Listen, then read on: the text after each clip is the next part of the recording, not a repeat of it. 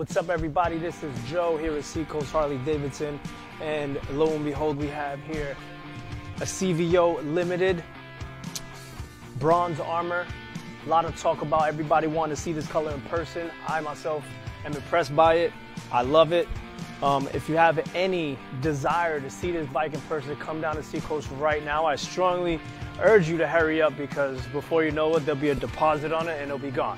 So uh, bring yourself down here. It's got everything you know about a CVO 117, all the good stuff on there. We can go more into detail when you get here. Ask for Joe, and I'll see you soon. Seacoast.